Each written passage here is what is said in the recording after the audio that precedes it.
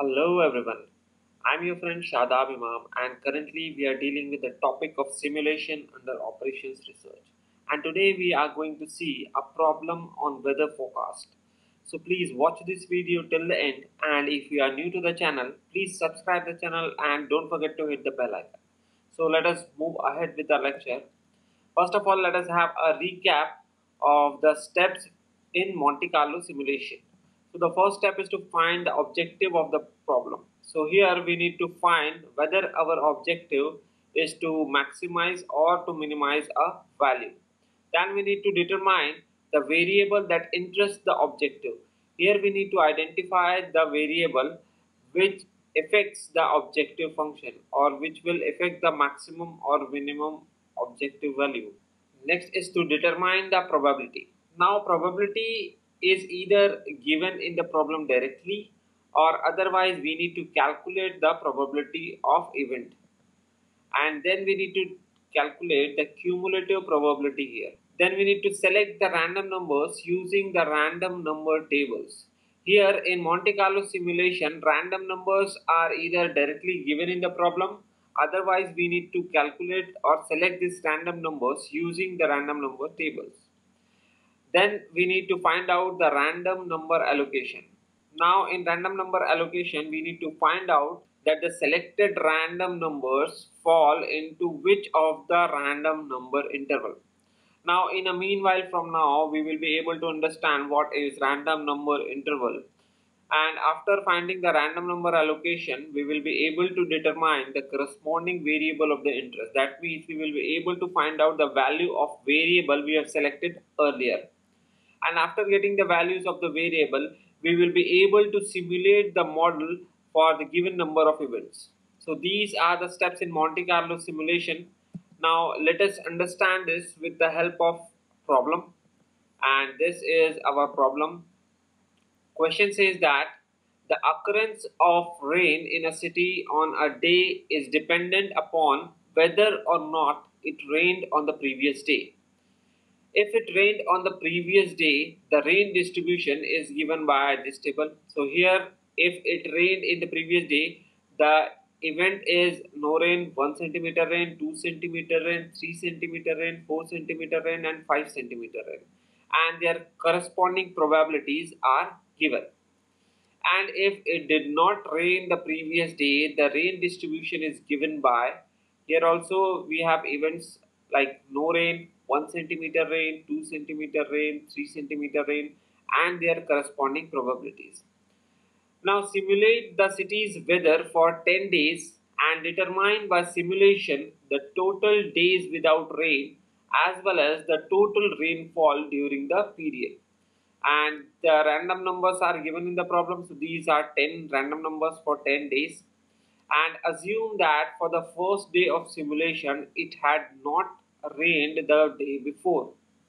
So let us see what are the key points given in the problem. The problem here says that the occurrence of the rain in a city is dependent upon whether or not it had rained on the previous day. So we need to find out whether or not it had rained on the previous day. And there are two tables given. First is when it had rained on the previous day. So if it had rained on the previous day, these events will be possible. Similarly, if it did not rain the previous day, then we will have this event probability. Now we need to simulate the demand for 10 days and we need to find the total number of days without rain as well as total rainfall during the period that means during these 10 days and we need to assume that first day of simulation it had not rained the day before. That means starting day of the simulation it had not rained the day before. So let us move ahead with the problem and let us see the solution. To simulate the weather we need to find the random number allocation for both cases. That is when it rained the previous day and when it did not rain on previous day. So let's find the random number allocation when it rained on previous day. And this is the random number that is mentioned in the problem. And this is the table we need to draw. First is event. So this is mentioned in the problem for the situation when it rained on previous day. And these are the corresponding probabilities. Now we'll find out the cumulative probability. So these are the cumulative probability and then we will find the random number interval. Now here we need to be very careful to calculate or to determine the random number interval. In random number interval we will see that the cumulative probability is 0.50 and we will assume it as 50 or we can say that we will move this decimal sign two places ahead. So this will be 50 now we will take the value from 0 to 49 and we will left out the 50th value and this random number will be 0 to 49 and we will left out the 50th value. Now 50th value will be the starting value of the next row and here the cumulative probability is 75. So here we will left out the 75th value and our random number interval will be from 50 to 74. Now we will start the 75th value from third row and the cumulative probability is 90 so we will left out the 90th value and the random number interval will be 75 to 89. Here we will similarly calculate the random number interval for the remaining table.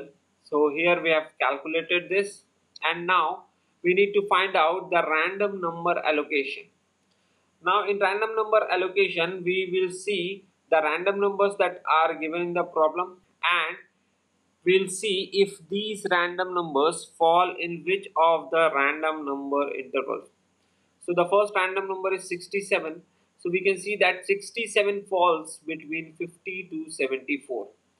So here the event 1 or day 1 with random number 67 falls between 50 to 74 and it suggests that it will have rain about 1 centimeter. Similarly, we will select the second random number which is 63 and 63 lies between 50 to 74. So here the second event with random number 63 lies between 50 to 74 and this shows that it has a rainfall of 1 centimeter. Similarly, the third random number 39 and we can see that 39 lies between 0 to 49 so here we can see that the third event which is having random number 39 falls between 0 to 49 and this shows that the event is no rain now similarly we will find the random number allocation for the remaining random numbers. So here we have calculated it. Now let us move ahead. And now let's find out the random number allocation when it did not rain the previous day. So in the previous table we have calculated the random number allocation when it rained on previous day. And here we are going to find out the random number allocation when it did not rain the previous day. So let us find out here. These are the random numbers mentioned in the problem. Now this is the table. Again these are the events given in the problem. No rain 1 centimeter rain 2 centimeter rain 3 centimeter rain and these are the given probabilities. Now let us first calculate the cumulative probability here so here this is the cumulative probability we have calculated. Now we'll find the random number interval. So here also it is 0.75 so we will consider it as 75 and we will left the 75th value and we will take the value from 0 to 74. So here we have taken the value from 0 to 74 and we will start the next row with the value 75th which we have left here. And we can see here that the cumulative probability is 90 0.90 so what we'll do is we will left out the 90th value and we will take this random number interval up to 89 so here from 75 to 89 Similarly, we will calculate the random number interval for the remaining values. And now, let us move to calculating random number allocation. So here random numbers are given. So we will see these random numbers fall within which random number interval. So the first one is 67. 67 is falling between 0 to 74. So this is event 1. Random number 67 falls between 0 to 74 which suggests that the event will be no rain. Similarly, the second random number is 63 and 63 as we can see here that event 2 random number 63 falls between 0 to 74 and this shows that the event will be no rain. Similarly, the next random number is 39. So event 3 random number 39 falls between 0 to 74 and it will have event as no rain. Now similarly we will find out the random number allocation for the remaining random numbers here. So these are the random number allocations here. Let us see we need to now simulate the forecast for 10 days. Now in order to do so we need to find this table and the first column is days so we are going to simulate for 10 days. So day 1 2 3 4 up to 10 here. And these are the random numbers. So random numbers have already given in the problem. So these are the random numbers in the problem. And this is the event when it rained previous day. So previously we have seen two tables. First one is when it rained on previous day. And the second one is when it, it did not rain on previous day. So from the first table we will be able to find out these values. So here from the first table we have find out that for random number 1 the event will be 1 centimeter rain. For random number 2 or we can say day 2 the event will be 1 centimeter rain and so on. So these are the values we have found in the first table similarly in the second table we have find out the events when it did not rain on the previous day. So from there we will be able to find out these events that is for day 1 the event will be no rain, for day 2 the event will be no rain, for day 3 the event will be no rain and so on. So here we need to understand that these two values are the values we have calculated in the previous tables. So let us move ahead and this is the final forecast we are going to do. And for the first day of simulation it had not rained the day before.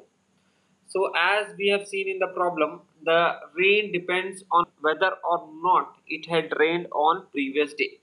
And for the first day of simulation it had not rained the day before. So we will see the table where the event is when it did not rain previous day so on the basis of this, we will select the values from this second chart or with this particular column. So we can see that the here event for day 1 is no rain. So we can see that our final forecast will say that for day 1 event will be no rain. Now once the event is finalized for day 1, we will move to day 2 and from day 2 we need to understand that we need to find out whether it had rained on day 1 or not. So in day 1 we can see that here there is no rain.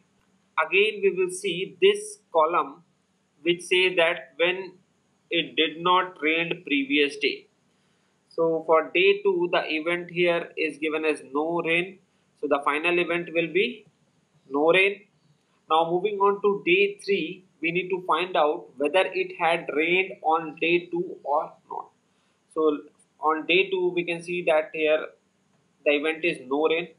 Again we will see the event from this column which says that when it did not rain the previous day. So day 3 the event will be no rain. So here also the event is no rain. Moving on to day 4 again we will see whether it had rained or not on day 3 so as we have seen here in our final forecast it had no rain on day 3 so again we will see this particular column and the value corresponding to day 4 is no rain so again we can see here that for day 4 the forecast is no rain now moving on to day 5 again we will see whether it had rained or not on day 4 so from here we can see that day 4 has no rain. So again we will see this particular column and we can see that the event on the day 5 is no rain. So here in final forecast the event will be no rain. Now on day 6 we can see that the event on day 5 is no rain so again we will see this particular column when it did not rain on previous day and we will be able to find out that the event for day 6 is 1 centimeter rain here. So the final forecast will be 1 centimeter rain. Now moving on to day 7, we need to see whether it had rained on day 6 or not. So for day 6, we can see that here we have 1 centimeter rain. That means it had rained on the previous day. So we will see this particular column where our event is when it rained the previous day. So from this we can see here that the rain is 1 centimeter rain. So our final forecast will be 1 centimeter rain. Now moving on to day 8 again we will see whether it had rained or not on day 7. As we know that on day 7 we had 1 centimeter rain then again we will see this particular column when it rained previous day. So this column says the event will be no rain. So the final forecast here will be no rain. Now moving on to day 9. Here we can see that day 8 is having the forecast as no rain. Now we will select this particular column when it did not rain the previous day. So for day 9 the event will be 1 centimeter rain. So here the event is 1 centimeter rain. Now moving on to the final day, day 10, we need to see whether it rained or not on day 9. So on day 9 we can see that here is 1 centimeter rain and this means that we will follow this particular column when it rained previous day. So the event here will be 2 centimeter rain now this is the final forecast we have done. Now let us see from here that what are the outcome we had from this particular simulation. So after simulating the forecast, following points are found out. First is for the first 5 days there is no forecast of rain. So as we can see from the table the first 5 days there is no probability of rain Second is the total number of days without rain are 6. So there are 6 days when we have no rain. The total rainfall during the period of 10 days is 5 centimeter and the maximum rainfall on a day is 2 centimeter. So these are the outcomes from this simulation. I hope you understand the lecture. So please like this, subscribe the channel and share this video. Have a nice day. Thank you.